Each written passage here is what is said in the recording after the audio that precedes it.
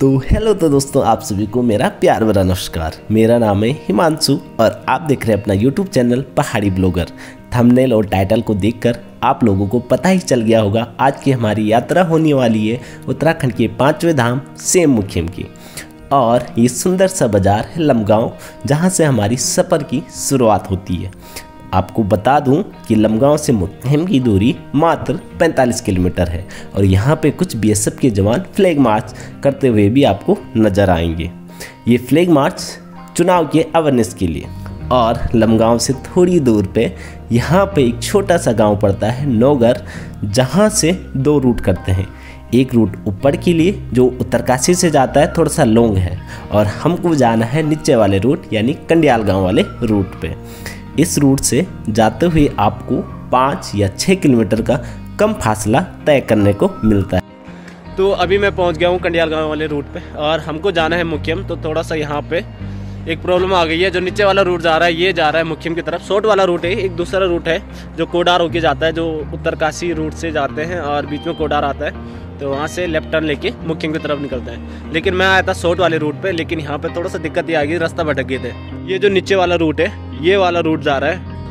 मुख्य और ये है कंडियाल गाँव वाला रूट और जो ये सामने आपको दिखाई दे रहा है, ये है रातलदार और इधर से भी रूट जाता है उत्तरकाशी के लिए। और इस बैंड के पीछे, इस पहाड़ी के पीछे, कोडार और वहाँ से फिर मुख्यम के लिए जाते हैं। तो ये वाला है शॉर्ट रूट और फ़िलहाल हमने अपनी गाड़ी यहीं पे खड़ी कर दी है, क्योंकि यहाँ से वापस जाना है और नीचे पे हमें ये रूट मिलेगा। तो फिर इस रूट से जाना है। यहाँ ठंड भी काफ़ी ज़्यादा है।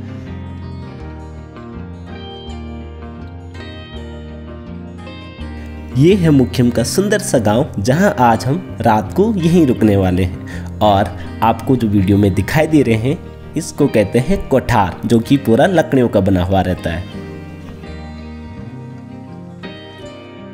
तो सुबह के साढ़े चार हो गया है टाइम और सुबह के नज़ारे में मंदिर के दर्शन बहुत ही अद्भुत।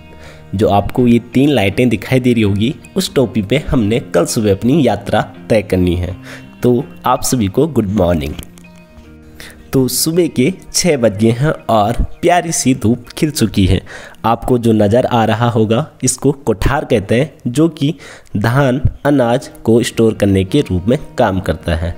और ये है मुख्यम का सुंदर सा गाँव और आसमान आज पूरा साफ़ है और कोठार जो कि पूरा लकड़ियों का बना हुआ रहता है।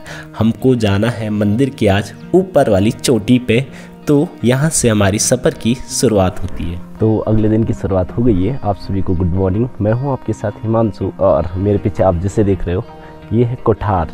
कोठार बोला जाता है गढ़वाली भाषा में और हिंदी में पता नहीं, कोठारी बोलते हैं इसके लिए। तो ये राजे के टाइम पे बनाया गया है, जो यहाँ के राजा थे मुख्यम के। तो ये कोठार जो होता है, मैं थोड़ा आपको उसका हल्की सी झलक दिखा लेता हूँ। ये कुछ इस प्रकार से बनाया गया है। पूरा लकड़ी का है, ऊपर पटाल इसमें, यानी पत्थर।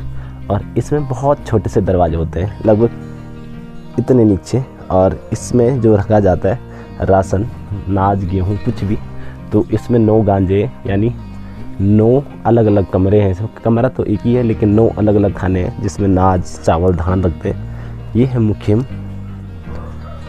मुखिम का सुंदर सा गाँव। और हमको जाना है अभी उस टॉप वाली पहाड़ी में, जहाँ पे आपको हल्की सी बर्फ़ दिखाई दे रही होगी। उधर है शतरंज और ऊपर है यहाँ सड़क जहाँ पे आपको एक टावर दिखाई दे रहा होगा, टावर के नीचे। तो यहाँ से सफ़र की शुरुआत हो चुकी है। गाँव के अंदर ही एक छोटा सा मंदिर है, जहाँ की भगवान सेम नागराजा यानी नागराजा देवता की डोलियाँ रखी जाती है। तो ये है गाँव के अंदर का मंदिर। सोचा कि आप लोगों को गाँव के अंदर का मंदिर भी दिखा लेता हूँ, क्योंकि अधिकतर लोग सिर्फ़ ऊपर पहाड़ी वाला टॉप मंदिर ही देख पाते हैं। गाँव के अंदर का ये छोटा सा मंदिर ये सुंदर सा मंदिर शायद ही आप लोगों ने इससे पहले कभी देखा होगा।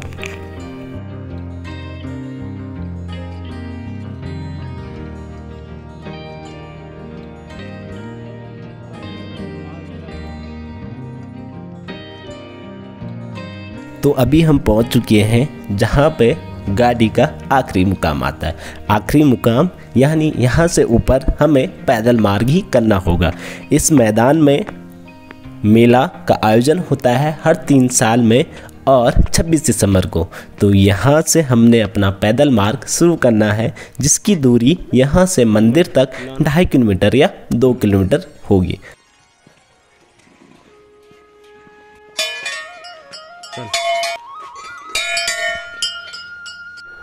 ये तुम देख सकते हो, यहाँ का रास्ता मुखिम मंदिर पे जाने का सिम नागराजा मंदिर में जाने का और रास्तों पे आपको यहाँ बर्फ़ पड़ी हुई मिलेगी अभी, क्योंकि अभी यहाँ का जो टेम्परेचर है, वो है आठ डिग्री और ये है कुछ रास्तों का नज़ारा। जब यहाँ बारिश होती है तो लाइव स्नोफॉल और पूरा रास्ता बर्फ़ से ढका हुआ रहता है। खासकर सर्दियों के सीज़न में और आगे आगे एक मेरा छोटा सा भांजा आ रखा है मेरे साथ और मेरे चाचा जी का लड़का। तो हम तीनों आज मंदिर के दर्शन करने जा रहे हैं। काफ़ी समय से हमने ये सोचा था और आखिरकार भगवान नागराजा देवता की कृपा से आज आना भी हो गया। तो आपको मंदिर के दर्शन करवाते हैं। और सेम नागराजा, मंदिर की कुछ अनसुनी बातें और कुछ अनसुने या जो आपने कभी देखे नहीं होंगे, ऐसे सीन आपको आज इस वीडियो में मैं दिखाऊँगा। मंदिर के बहुत ही प्यारे नज़ारे तो बने रहे मेरे साथ। और अगर आप मेरे चैनल पर नए हो तो चैनल को सब्सक्राइब ज़रूर कर दें और वीडियो को कंटिन्यू देखें, क्योंकि आपको वीडियो में बहुत मज़ा आने वाला है। आराम से। अभी हम मात्र 100 या 200 मीटर की दूरी पे आए हैं और यहाँ की ये खड़ी चढ़ाई हमने जाना है ऊपर। खड़ी चढ़ाई एकदम चोटी पे, मंदिर पे। यहाँ से आपको शायद ही जूम करके हल्का सा मंदिर का नज़ारा दिखाई दे रहा होगा। और हमने अभी वहीं जाना है तो हम चल रहे हैं अपने रास्तों की तरफ़। और यहाँ आप रास्तों की हालत देख सकते हो। पूरे रास्ते पे बर्फ़ पड़ी हुई है। कहीं पे बर्फ़ सूख रखी है, जैसे कि ये देख सकते हो। और कहीं पे एकदम गीली मिट्टी है। ये जूतों की हालत तुम देख सकते हो। इस पर पूरी दो किलो मिट्टी आ गई है। इतना वज़न कभी जूते का था नहीं, जितना आज हो गया है। तो अभी 250 मीटर की दूरी करके यहाँ पे पाँव तो फिसल रहे हैं। क्योंकि ये जो आइस है, ये जो बर्फ़ है, ये एकदम सख्त हो गई है। ये देख सकते हो तुम, पूरी कांच टाइप की। और यहाँ पे बैठने के लिए व्यवस्था कर रखी है यात्रीगणों के लिए। और यहाँ पे थोड़ा सा, छोटा सा मंदिर भी है तो इसके दर्शन भी आपको ज़रूर करवाते हैं। जय हो सेमनार राजा। जय हो।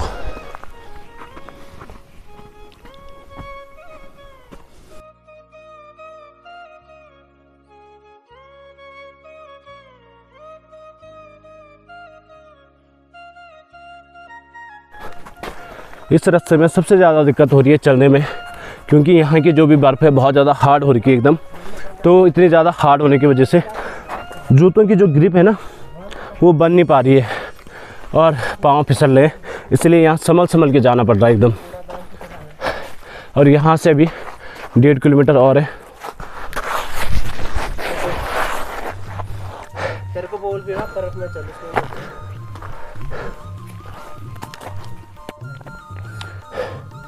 तो पूरे दस बजकर बीस मिनट हो गया टाइम और अभी बहुत ऊपर जाना है। हालत ख़राब हो गई है यहीं पे। हालत इसलिए ख़राब हो रही है कि बर्फ़ की जो चादरें बहुत मोटी और बहुत टाइट हो रही है हार्ड तो इसमें चला नहीं जा रहा है फिसल रहे हैं पाँव इसकी वजह से थोड़ा दिक्कत हो रही है। और ऊपर से आवाज़ें भी आ रही है। शायद हमसे पहले भी कोई श्रद्धालु जा रहे हो। और सूरज फ़र्स्ट टाइम आया है। तो ये इस रास्ते का इन वादियों का मज़ा ले रहा है एकदम बढ़िया से। ये देख लो।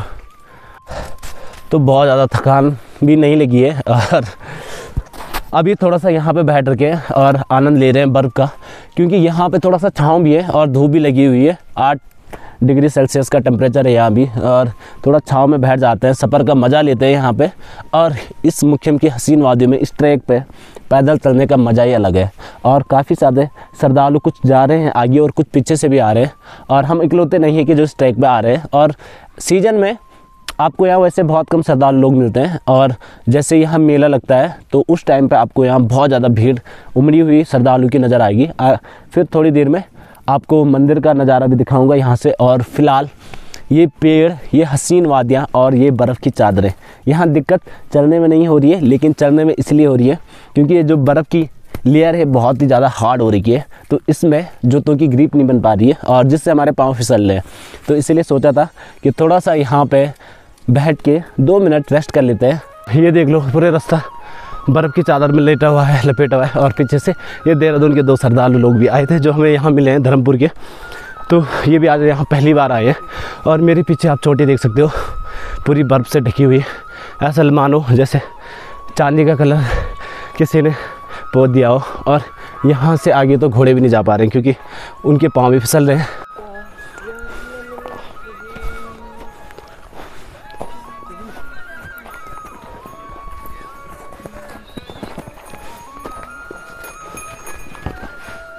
ये भी फिसलते होंगे। क्यों नहीं फिसलते? हैं आजा। ये बर्फ़ जम गई है, इस बर्फ़ से आना थोड़ा टफ हो रहा है। पकड़ पकड़ के आजा।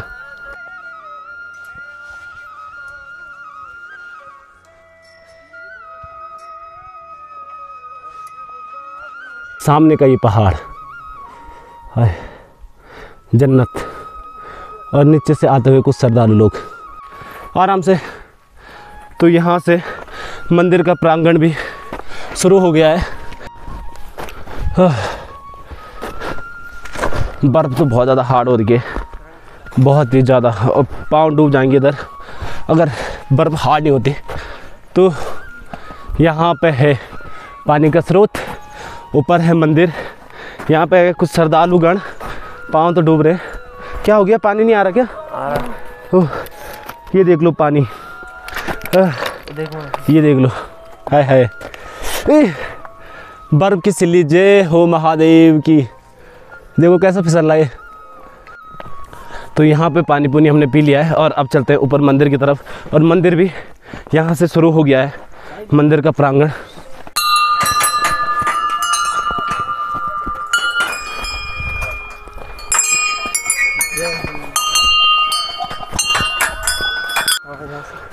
तो मंदिर के प्रांगण में पहुँच गए हम अभी। थोड़ा अपनी मूछों को बिताव ताव दे देते हैं।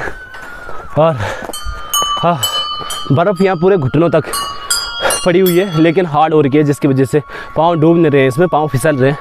और शुभ आगमन हो गया है। जय हो।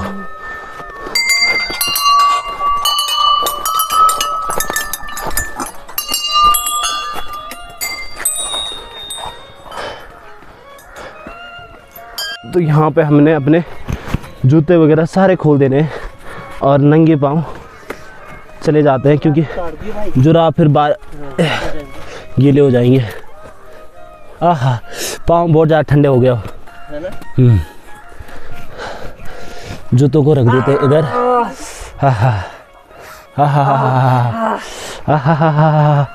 इसे कहते हैं ठंडा। सो चलिए। उत्तर द्वारिका सीम नागराजा पांचवा धाम। में आपका हार्दिक स्वागत है।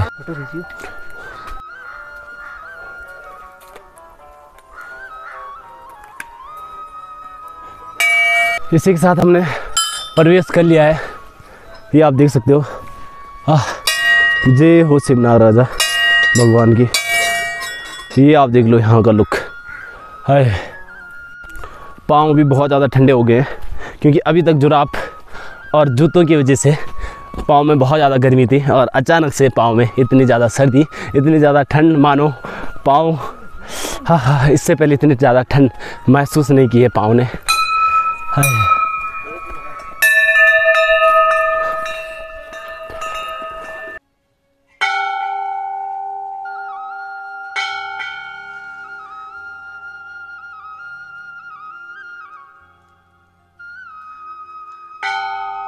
तो अभी हम पहुँच गए हैं मंदिर के अंदर।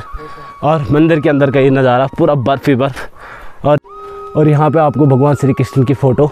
घंटी पे साफ़ नज़र आ जाएगी।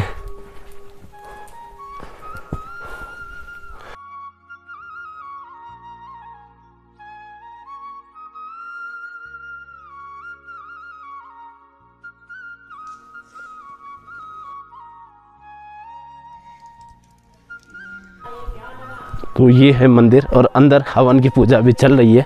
तो यहाँ देख लीजिए पूरी बर्फ़ और बर्फ़ और नंगे पाँव, बहुत बुरे हाल। फिर भी नागरदा देवता की कृपा से मंदिर के अंदर पहुँच के सारा कार्य संपन्न हो गया है बड़े प्यार से।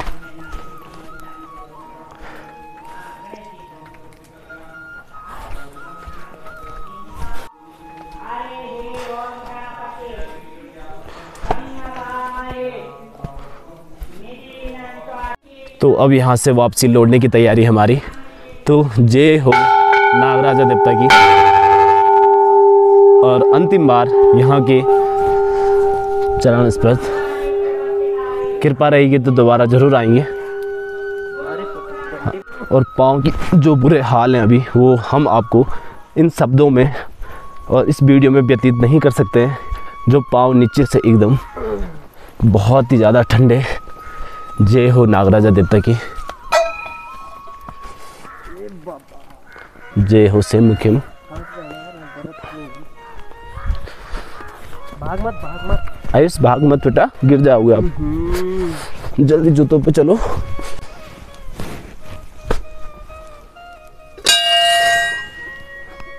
तो अभी जाके पाँव में थोड़ा सा जान आ गई है, क्योंकि इतने ठंडे हो गए थे इधर पाँव।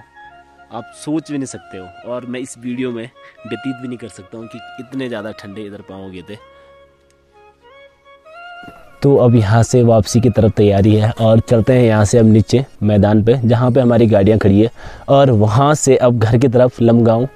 तो यहीं तक था, आज मंदिर के दर्शन भी हो गए काफ़ी। मेरे ख्याल एक साल या एक डेढ़ साल बाद आए हूँ आज पाँचवें धाम मुख्य में, सेम नागराजा के दर्शन में करने। तो यहाँ से अब घर की तरफ़ लौट चलते हैं और चलो। इसी के साथ जय हो सेम नागराजा देवता की। और अगर आपको वीडियो पसंद आए तो वीडियो को लाइक ज़रूर करना, वीडियो को शेयर ज़रूर करना और अपने प्यारे प्यारे कमेंट ज़रूर करना। अगर आप मेरे चैनल पर नए जुड़े हो तो चैनल को सब्सक्राइब ज़रूर कर दें और मिलता हूँ आपको किसी नेक्स्ट ब्लॉग में। तब तक के लिए tata, bye bye, love you. Sem Nagraja देवता की कृपा आप सभी लोगों पर सदा बनी रहे।